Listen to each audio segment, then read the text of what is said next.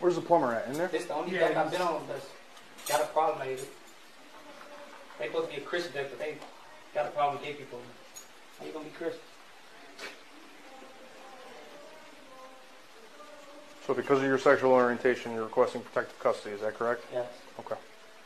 King Von, one of my favorite. I know it might look weird to some of y'all that don't understand it. I'm not saying this it's fact. M- My point of view, I'm not saying it's fact, but I remember one time me and my homeboy, we went to the county jail and they was about to put us in a quarantine rock with all 12th Street guys and they was all at the window pointing.